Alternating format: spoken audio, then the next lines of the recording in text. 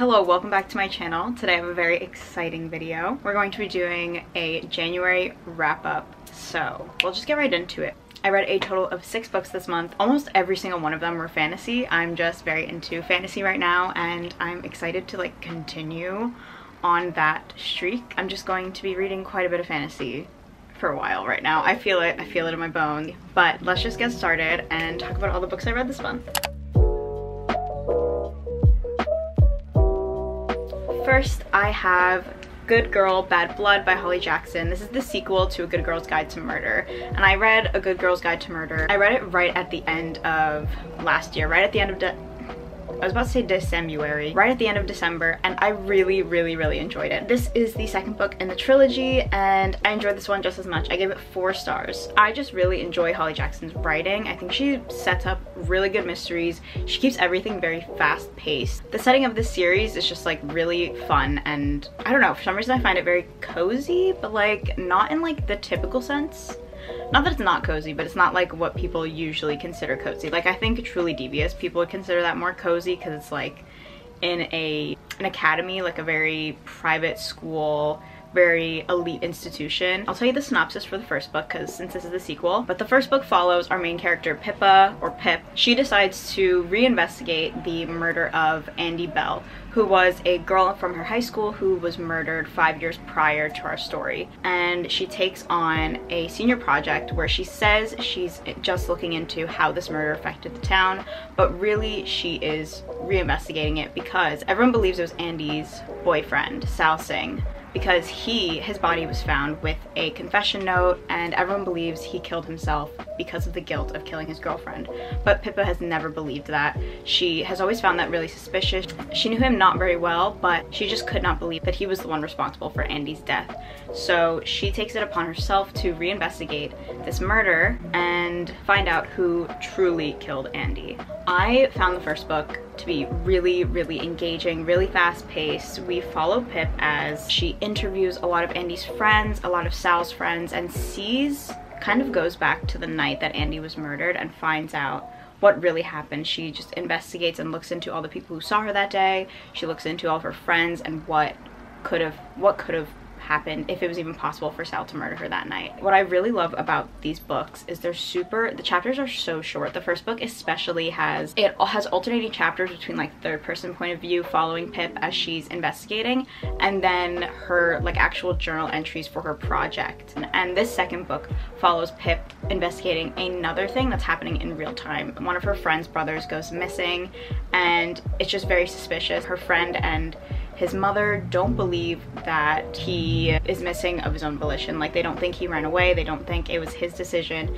They think something suspicious happened. And Pippa brings herself back into this detective mode and tries to find her friend's brother. This one, I'll say I maybe didn't love it as much as the first one. I think the first one was like a perfect mystery. I did give both of them four stars because they weren't perfect. Maybe going back to A Good Girl's Guide, maybe it could be five stars but I just found like some of the writing to be a little bit corny but the setting I didn't really talk about that. It's set in a small town in Connecticut and that's just like a very cozy setting for me. It's very familiar for me. I just really love the small town aspect of this. All of the families like knowing each other fairly well and having Pip move around this town and investigate the people in it and like find out everyone's secrets. I'm so excited to pick up the third book in this trilogy. I'm actually going to pick it up today because it comes out in paperback today um, and I just want to own them all in paperback so they're all matching. And I'm just very excited to dive right in. I know it's going to be a super quick read. I'm very excited to see what this last investigation for Pip will entail. I will definitely be picking up more Holly Jackson and this was a great first read for the year. My next read, I actually don't have a copy of. Uh, I borrowed it from the library, but I have the second book for it. This is Lord of Shadows by Cassandra Clare. But I read Lady Midnight. This is obviously another book set in the Shadowhunters world. This book follows the events of the War from the Mortal Instruments, the first series in the Shadowhunters world. This one follows our two main characters, Emma Carstairs and Julian Blackthorn. They are both orphans after the war. Their parents obviously have died. Emma's parents' death has always haunted her. She has always been very suspicious of it. Her parents' deaths have always been attributed to the war but they didn't die in battle. Their bodies were found on a beach with demonic runes surrounding them and possibly on them, I don't remember for sure. Very suspicious and confusing circumstances and Emma has always been trying to figure out what really happened to her parents and this book starts off because there have been murders very, very similar to her parents happening again five years later. It's another five year situation and murders and investigating. But we follow Emma and Julian and their friends and all the people in the Institute investigating these deaths. And Emma especially is trying to figure out what happened because she is pretty certain this is linked to what happened to her parents. I liked this book, but I didn't I definitely didn't love it. I got very close to loving it. There were a lot of aspects of it that I enjoyed. At first it was a little hard for me to get into because prior to reading it, I had only read the Infernal Devices and the first two books in the Last Hours trilogy, which I loved those. And I tried reading The Mortal Instruments like years ago, but I just never really got into it. So I much prefer her 1800s London, like England style of writing, like that setting and that atmosphere is just like very, very cozy and really good to me. Like I enjoy that. So Lady Midnight being set like modern day in California, wasn't sure how I would like it, but once I started to get into it, I actually started to like it. This follows a bigger cast of characters. Um, not really bigger than Cassie's used to at this point. She really likes to include a lot of characters in her stories now. But this one has a lot just because Julian has like five, six, seven siblings. I know he has like five younger siblings. The twins, other sister, other brother, maybe another one. I think he might have four younger siblings and then like two older siblings. So he has a bunch of siblings. Following all the characters was a little confusing at first, but after a while I started to really like the dynamics between them. This is one thing that I don't know is very like anyone else has thought this or said this before, but I started to really like Lady Midnight after a certain point because it started to give me like Percy Jackson vibes but grown up don't know how accurate that is but there was just something it felt very questy with them investigating the murders them going to like different parts of california. They would go to like different areas and like shadow hunter places but they're in our world so it felt very similar to me to like Percy Jackson where they're going around the country going to these familiar states cities and all that stuff but with Greek god things and in this case Shadowhunter things. So I really enjoyed that. Uh, the romance wasn't my favorite aspect. I started to kind of like it a bit more at one point but they're definitely like not gonna be my favorite couple of Cassandra's. I think it is interesting what's propelling me forward is so Emma and Julian are best friends. They are parabatai. Two best friends can basically become parabatai and what that means is they are like literally bound together in battles. They fight better together. Their healing runes heal better if they're like applied to each other rather than someone else applying to them. And they can like feel the other's emotions and kind of feel when the other gets hurt. So they're very, very closely connected. And they're best friends, but turns out they're also in love with each other. And Parabatai are not allowed to be in love. So I'm very intrigued to see what will happen because it's extremely forbidden for Parabatai to fall in love.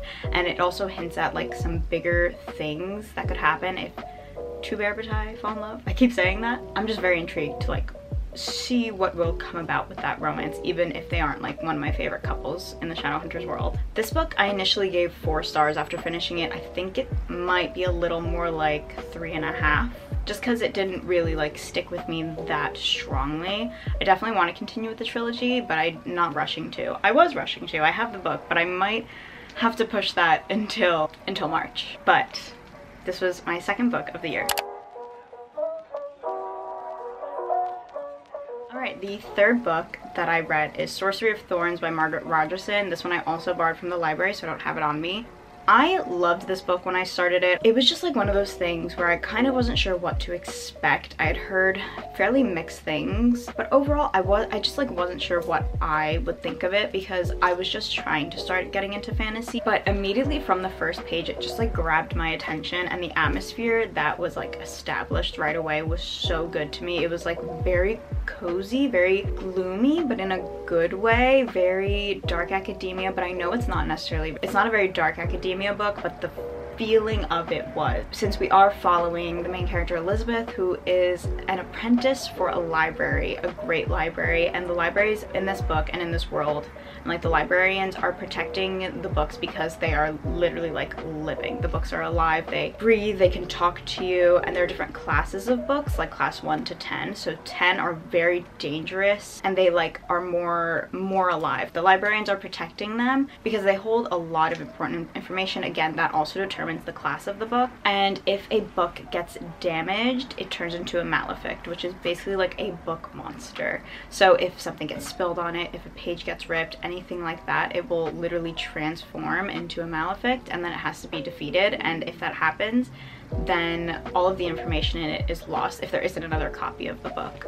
So that's another reason why the librarians are important and like the wardens are important because they trap higher level books that are more dangerous but need to be protected because the information in them are very important like the magic, the spells, the history, anything that's in it, like it needs to be protected and they need to be taken care of. They need special care because again, they talk so they can also kind of make you go insane. So something is happening in the libraries across the city where malefics are attacking the librarians. They, someone is triggering these and destroying the books to turn them into malefics and they are, like I said, attacking and killing librarians. Elizabeth ends up being part of one of these attacks and she is accused of being the one behind it. She is imprisoned and then she is brought into the city to testify for herself, but she ends up being brought into the city by a sorcerer named Nathaniel. And some stuff ensues. She, as a librarian, thinks that sorcerers are evil, but Nathaniel will kind of show her that's not necessarily the case. Elizabeth begins investigating these series of attacks because other libraries, it's happening in other libraries, and she knows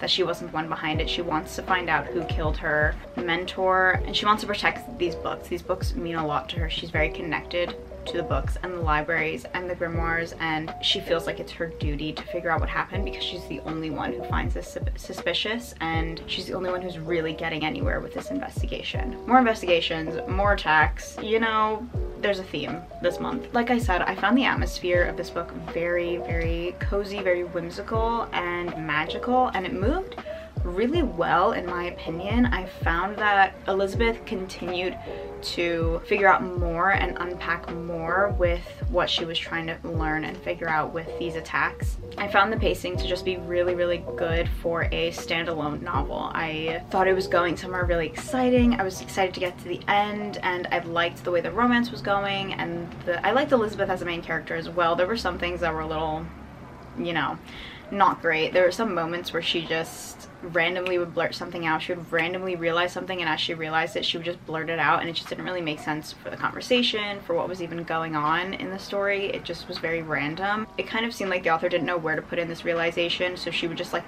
chuck it in randomly and be like, Elizabeth figured it out. She's so smart. The last 100 pages really fell off for me. I don't want to spoil it, but it just wasn't exactly where I thought the story was going. It kind of ended up in a bigger battle than I wanted. It felt emptier because it was bigger, because it lacked a lot of weight and a lot of stakes. And I thought that having Elizabeth investigate the attacks and going and searching in other libraries, meeting with other sorcerers, stuff like that was very interesting. So to have this really big battle at the end was not, it didn't fit where the story was going. I wanted something more intimate since Elizabeth was the one who was, like I said, doing a lot of the investigating. I wanted something with like her and Nathaniel and Silas, who is Nathaniel's demon, like servant, because all sorcerers have a demon. Any bits of action throughout the book were very contained, very like between Elizabeth and a Malefict or something like that, like just very small. And while obviously the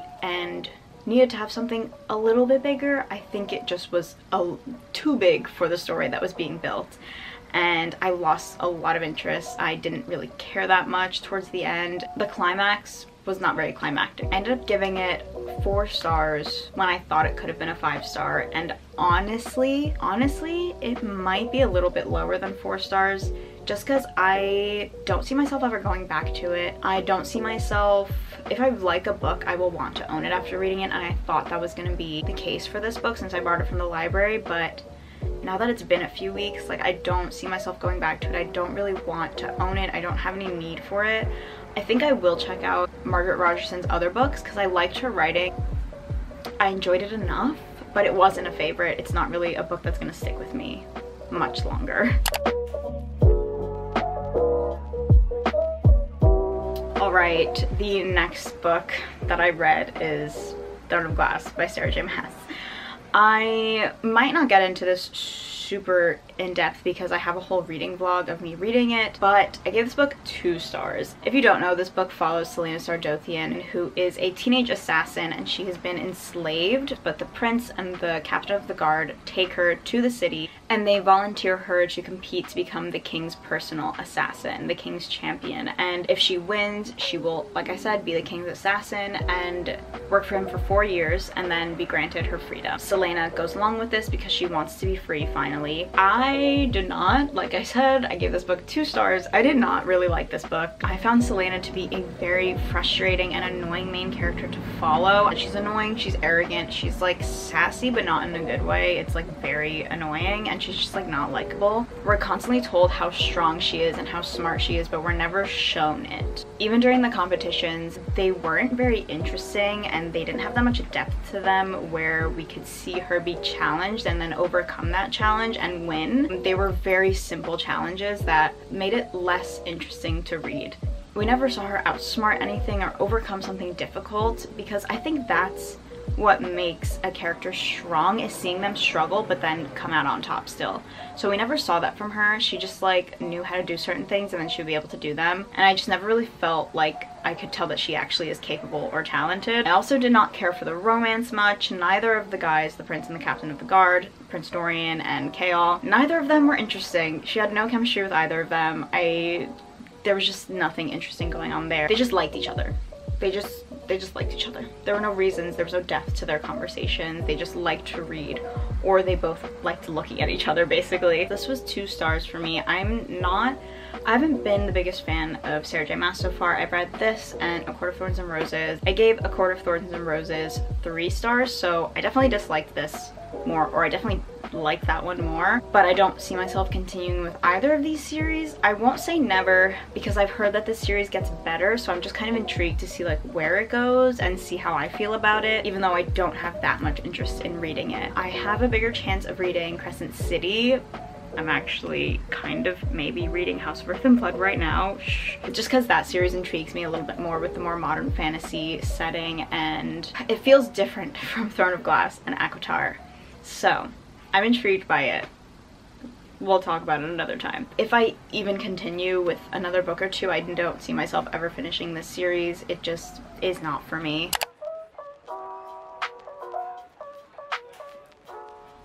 My next book is a much, much bigger upgrade from that last one, and that is The Final Empire by Brandon Sanderson. This is the first book in the Mistborn trilogy, and as you can see, I annotated this and I had such a good time reading this for the first time obviously. I really really loved this. I love the world that was built and I did give it four and a half stars so it wasn't entirely perfect but it was almost there. I just had some very trivial issues with the book. Um, not necessarily with the story well kind of. I'll get into them later but I found it so fun to dive into this new world I thought it was so so well built and well crafted. Like Brandon Sanderson knows what he's doing. He knows what he's building and where the story is going. There's just so much happening.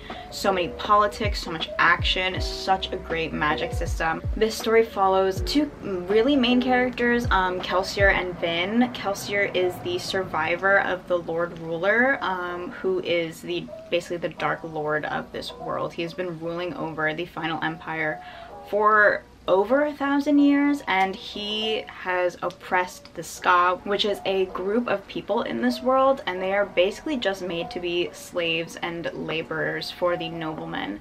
And Kelsier is a Skaa. He's actually half Skaa, half nobleman, and he was punished by the Lord Ruler, but Kelsier survived that punishment and kind of has become like a legacy in and of himself where he is the survivor.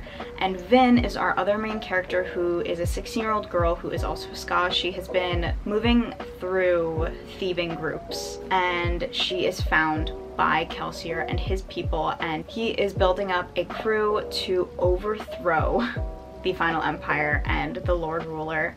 And it is just an insane plan. There's so much to this story. The magic system is so, so good. It basically has to do with metal and there are Mistings and Mistborn. Mistings can control or work with only one metal and Mistborns can work with all metals. And there are over eight, there are like 10 metals plus. There is just so so much to this story. Like I said, there's a lot of political intrigue. The characters are so good and the relationships between them I really enjoyed. I think that there's a lot of character growth, character arcs. The characters are really shifting and changing and learning throughout this book. And while you're rooting for these characters, you are also seeing them, their flaws and you do see them make mistakes. You do see them fail. And I think that is so great because it creates so much tension. And the ending of this book just like explodes, like so much happens. It is so engaging. And here, wait, I wanna see if you can see so this dark blue color, that is my like shocking and like crazy tab towards the end. Those were like the only tabs I was really using because so much was happening. I was like, oh my god, like being thrown everywhere in every direction. But getting into some of the problems that I had, they were really, really small. So that's why it's only a half star like my only knocked the book half a star. I found some of the dialogue to be not great, a little unrealistic. It didn't flow super well in some scenes and my other problem that actually put quite a damper on one aspect of this book was the romance. Vin has a love interest and like I said, I think she's 16 years old and the romance that begins to build, I was actually having so much fun with. I enjoyed the dynamic between them really well. Like I was starting to get very giddy and I was very surprised by that. And then we found out he's 21 years old. Um, I know this is a fantasy series and fantasy series kind of play with ages a bit. Like there are some characters who are hundreds if not thousands of years old and then there's like you know a 19 year old girl that they're gonna date which is a little questionable.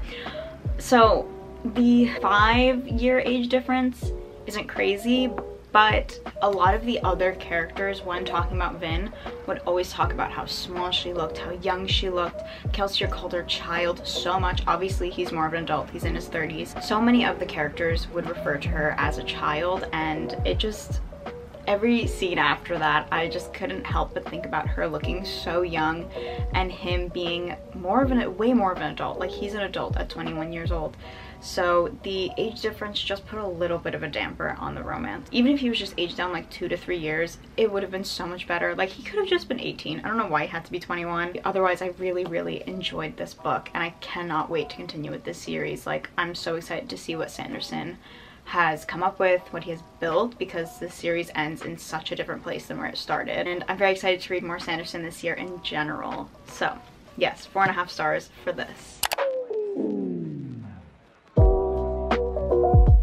Lastly,